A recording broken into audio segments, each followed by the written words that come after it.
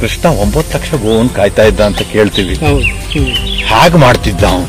ಕೃಷಿಕನಿಗೆ ಜೀವಂತ ಇದ್ದಾಗ ಹೇಗೋ ಹಾಗೆ ಅದು ಸಾವಾದಾಗ್ಲು ಪ್ರಾಣಿ. ಆಕಳಿಗೆ ಸಂಸ್ಕಾರ ವಿಧಿಗಳು ಏನು ಹೇಳಿದ್ದಾರೆ? ಉಲ್ಲೇಖ ಏನಿದೆ? ಸತ್ತ ಪ್ರಾಣಿಗಳನ್ನ ಕೊಳೆಯಿಸಿ ದ್ರವ ರೂಪಕ್ಕೆ ಬರುವ ಹಾಗೆ ಮಾಡಿ ಆ ದ್ರವವನ್ನ ಗಿಡಗಳ ಮೇಲೆ ಸಿಂಪಡಿಸಿದಲ್ಲಿ ಗಿಡಗಳು ದಷ್ಟಪುಷ್ಟವಾಗಿ ಬೆಳೆಯುತ್ತದೆ. ಆದ್ರೆ ಯಾವ ರೀತಿ ಕೊಳಿಸ್ಬೇಕು?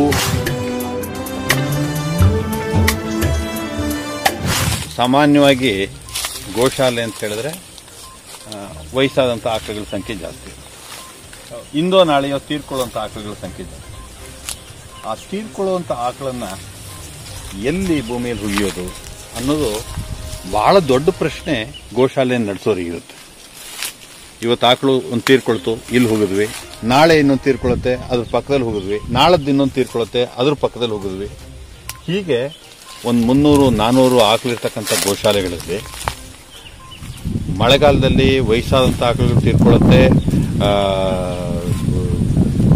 ಜೊತೆಗೆ ಹೊಟ್ಟೆ ಒಳಗಾಗಿ ಸಣ್ಣ ಸಣ್ಣ ಕರುಗಳು ತೀರ್ಕೊಳ್ಳೋ ಸಂಖ್ಯೆಯೂ ಇರುತ್ತೆ ಪ್ರಾಕೃತಿಕ ವೈಪರೀತ್ಯ ಎಲ್ಲಿ ಉಗಿಯೋದು ಅನ್ನೋದು ದೊಡ್ಡ ಪ್ರಶ್ನೆ. ನಮ್ಮ ಜಾಗದಲ್ಲಿ ಉಗಿಯೋದು ಅಂತ ಹೇಳಿದ್ರೆ ಎಷ್ಟು ಜಾಗ ಅದಕ್ಕೆ ಮೀಸಲಿಡಬೇಕು ಒಂದು ಮುನ್ನೂರು ನಾನೂರು ಆಕಳಿದೆ. ರಾಜ್ಯದಲ್ಲಿ ನಾ ಮೂರು ಸಾವಿರ ಆಕಳ ಸಂಖ್ಯೆ ಇರ್ತಕ್ಕಂಥ ಗೋಶಾಲೆಗಳು ಇದೆ. ಹುಗಿಯೋದೆಲ್ಲಿ ಆಮೇಲೆ ಒಮ್ಮೆ ಹುಗಿದಿದ್ದೀವಿ ಅಂತ ತಿಳ್ಕೊಂಡು ಆ ಜಾಗದಲ್ಲಿ ಮತ್ತೊಂದು ಹುಗಿಬೇಕು ಅಂದರೆ ಕನಿಷ್ಠ ಒಂದು ಹತ್ತು ವರ್ಷ ಡಿಕಂಪೋಸ್ ಆಗಿ. ಡಿಕಂಪೋಸ್ ಆಗಿರೋದು.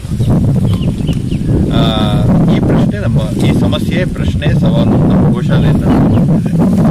ನಮ್ಮ ಗೋಶಾಲೆಯಲ್ಲಿ ಬಂದು ಆಕಳು ತೀರ್ಕೊಳ್ಳೋದು ಆಕೆ ನಂದಿನಿ. ಬಂದವರೆಲ್ಲರೂ ಗೋಶಾಲೆ ನೋಡ್ಲಿಕ್ಕೆ ಬಂದವರೆಲ್ಲರೂ ಎಷ್ಟು ಚೆನ್ನಾಗಿ ಸಾಕಿದಿರಿ ನಂದಿನ, ಎಷ್ಟು ಚೆನ್ನಾಗಿ ಸಾಕಿದಿರಿ ನಂದಿನಿನ ಅಂತ ಹೇಳಿ ಹೊಗಳ್ತಾ ಇದ್ರು. ಆಕೆಯ ಜೀವಿತ ಅವಧಿಯಲ್ಲಿ ನಮಗೊಂದು ಘನತೆ ತಕೊ ತಂದ್ಕೊಟ್ಟಂತ ನಂದಿನಿ. ತೀರ್ಕೊಳ್ತಾಳೆ ವಯೋಸಹಜ ಕಾರಣಕ್ಕೆ. ಅವತ್ತು ಆಯುರ್ ಪೂಜೆ. ಕೆಲಸಗಾರರು ಯಾರು ಬರ್ತಾ ಇಲ್ಲ. ಭೂಮಿ ಹುಗಿಯುವಂತ ಭೂಮಿ, ಎಲ್ಲಿ ನಾವು ಅದನ್ನ ಮಣ್ಣು ಮಾಡಬೇಕು ಅಂತ ಅನ್ಕೊಂಡಿದ್ವು, ಆ ಭೂಮಿ ಬಹಳ ಗಟ್ಟಿಯಾಗಿದೆ. ಜೆ ಸಿ ಬಿ ತರಣ ಅಂದ್ರೆ ಯಂತ್ರಕ್ಕೂ ಹಬ್ಬ ಅವತ್ತು ಆಯುಧ ಪೂಜೆ, ಯಾರು ಯಂತ್ರ ಚಾಲಕರು ಬರ್ತಾ ಇಲ್ಲ, ಯಂತ್ರವೂ ಬರ್ತಾ ಇಲ್ಲ ಆ ಕಾರಣಕ್ಕೆ. ಏನ್ ಮಾಡೋದು? ಈಗ ಬರ್ತೀನಿ, ಆಗ ಬರ್ತೀನಿ ಅಂತ ಒಬ್ಬರನ್ನ ವಿನಂತಿ ಮಾಡ್ಕೊಂಡ್ವಿ. ಆಕಳು ತಿನ್ಕೊಂಡಿದೆ ಅಂದಾಗ ನಾ ಹಬ್ಬ ಮುಖ್ಯ ಅಲ್ಲ, ನಾನು ಬರ್ತೀನಿ ಅಂತ ಹೇಳ್ತಾರೆ ಆದ್ರೆ ರಾತ್ರಿ ಹನ್ನೊಂದು ಗಂಟೆ ಆದ್ರೂ ಬರಲ್ಲ.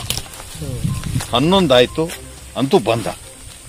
ಬಂದು ಆ ಮುಂದಿರ್ತಕ್ಕಂಥ ಅದರ ತೊಟ್ಲಿನಲ್ಲಿ, ಆ ಯಂತ್ರದ ತೊಟ್ಲಿನಲ್ಲಿ ಆ ಆಕಳನ್ನ ನಂದಿನಿಯನ್ನ ಮಲಗಿಸ್ಕೊಳ್ಳೋ ಸಂದರ್ಭದಲ್ಲಿ ಆ ಯಂತ್ರದ ಹಲ್ಲು ಚುಚ್ಚಿಬಿಡ್ತಾನೆ ಚುಚ್ಚಿ ಹೊಟ್ಟೆ ಚುಚ್ಚಿದಾಗ ನನ್ನ ಎದೆಗೆ ನೋವು ನೋವಾಗ್ಬಿಡ್ತು ನಮಗೆ.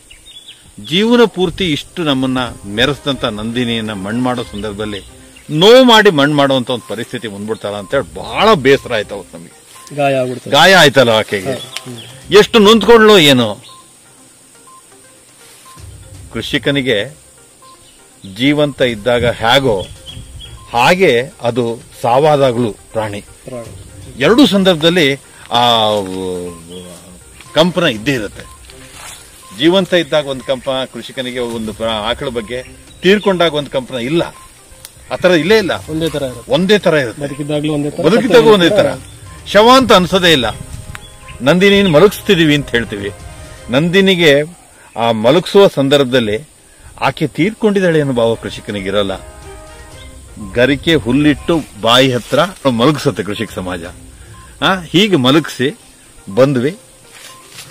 ಮನೆಗೆ ಬಂದಾದ್ಮೇಲೆ ಅನಿಸ್ತು ಇಷ್ಟು ನೋವು ಮಾಡಿ ಮಲಗಿಸುವಂತ ಸ್ಥಿತಿ ಬಂದ್ಬಿಡ್ತು. ಇಷ್ಟು ತಡವಾಗಿ ಸಂಸ್ಕಾರ ಮಾಡುವಂತ ಸ್ಥಿತಿ ಬಂದ್ಬಿಡ್ತು. ಕೃಷ್ಣ ಒಂಬತ್ತು ಲಕ್ಷ ಗೋವನ್ ಕಾಯ್ತಾ ಇದ್ದ ಅಂತ ಕೇಳ್ತೀವಿ. ಹಾಗೆ ಮಾಡ್ತಿದ್ದ ಅವನು. ಅವನ ಹತ್ರ ಸಾಯ್ತಾ ಇರ್ಲಿಲ್ವೇ? ಸತ್ತದ್ದನ್ನ ಅವನ ತಪೋಬಲದ ಮೇಲೆ ಸಮಾಧಿ ಆಗೋ ಹಾಗೆ ಗುಂಡಿ ಹಾಗಾಗೆ ನಿರ್ಮಾಣ ಆಗಿ ಹಾಗಾಗೆ ಮಲಗೋ ಹಾಗೆ ಮಾಡಿಬಿಡ್ತಿದ್ನೆ. ಏನ್ ತಂತ್ರ ಇತ್ತು?